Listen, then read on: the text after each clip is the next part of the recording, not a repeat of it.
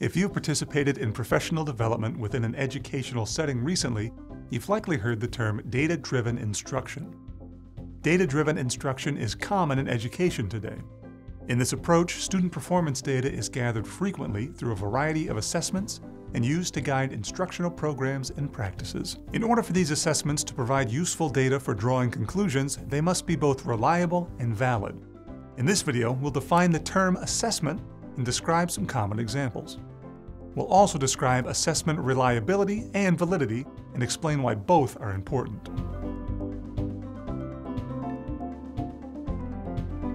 First, let's define the term assessment and explore some forms that assessments can take. An assessment is a way of collecting data about student learning. Assessment results are used for a variety of purposes, often to guide instructional practices to improve student performance or evaluate instructional programs. Standardized tests often come to mind when the term assessment is used, as they're commonly required by states to assess students' performance and growth at specific intervals. However, assessments can also include unit, chapter, and lesson tests and quizzes, projects, writing pieces, presentations, independent practice questions, exit tickets, and more. Assessments may include selected response questions, where students are given answer options to choose from. Examples of these types of questions include multiple choice, true or false, and matching questions. Assessments may also include constructed response questions, where students are given a prompt and they have to construct their own responses. Essay questions are examples of constructed response questions. Both of these question types have their own considerations to ensure reliability and validity. Reliability refers to the consistency of assessment results and includes the following considerations. First, an assessment should have consistent results over time when taken under the same conditions. If a student completes the same assessment on two different days under similar conditions, the results should be about the same. Next, multiple versions of the same assessment should produce consistent results.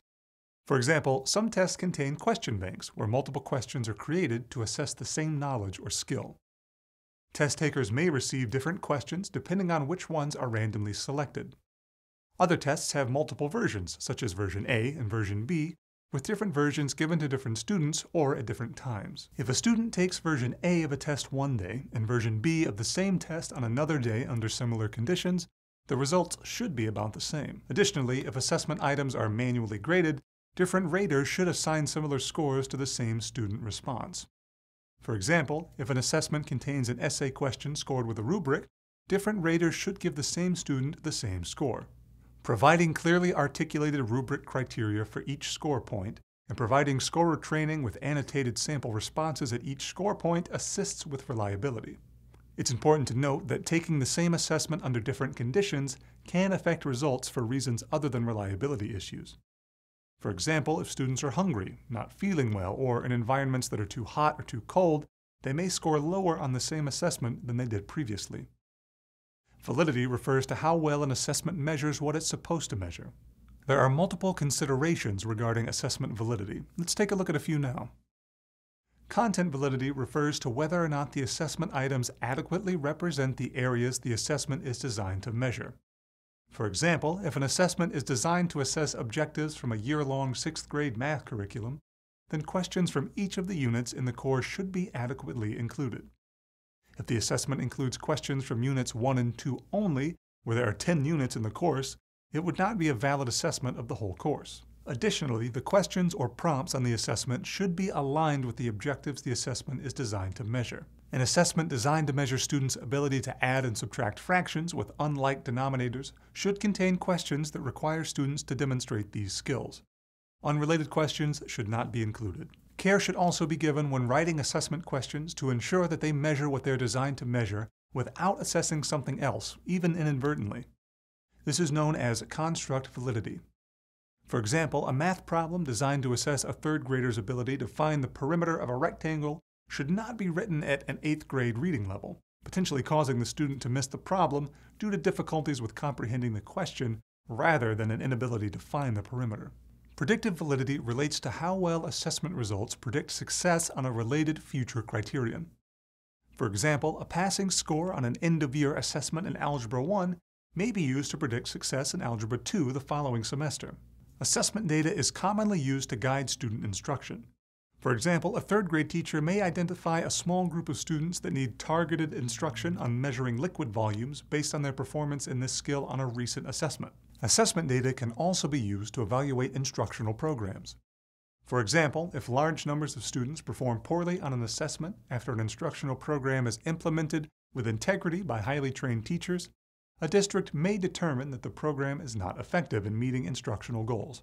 They may then select a replacement program. Standardized tests also have particularly high stakes, affecting ratings and funding for schools, decisions about when interventions are needed, and in some cases, determining whether or not students are promoted or eligible for graduation. These reasons highlight why it's important for assessments to be both reliable and valid. Assessments must provide useful data in order to guide instructional practices and decisions. Let's review what we've learned in this video. An assessment is a way of collecting data about student learning. Assessment results are used for a variety of purposes, often to guide instructional practices to improve student performance or evaluate instructional programs. Reliability refers to the consistency of assessment results. An assessment should have consistent results over time when taken under the same conditions, and multiple versions of the same assessment should produce consistent results. Additionally, if assessment items are manually graded, different raters should assign similar scores to the same student responses. Validity refers to how well an assessment measures what it is supposed to measure. This includes ensuring that an assessment adequately represents all of the areas that it is designed to measure, it also includes ensuring that unrelated content is not included. Assessments are used to make instructional decisions, and they can have high stakes. It's important for assessments to be both reliable and valid in order for the data they produce to be useful in making these decisions. Let's cover a couple of review questions before we go.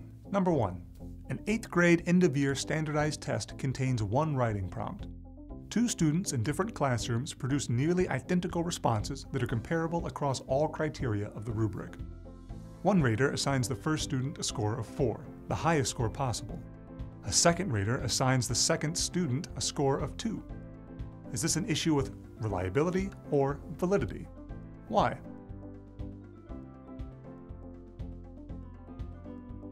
This example demonstrates an issue with reliability.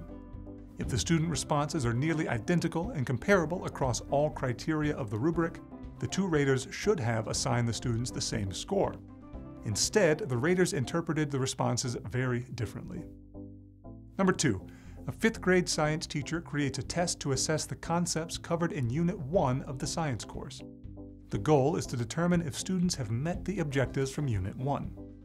She includes five questions at the end of the test that cover content from Unit 2 in order to get a sense of what students already know about the topic. Is this an issue with reliability or validity?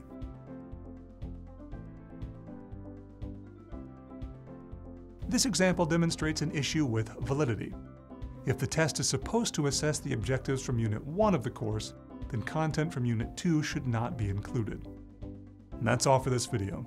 Thanks for watching and happy studying.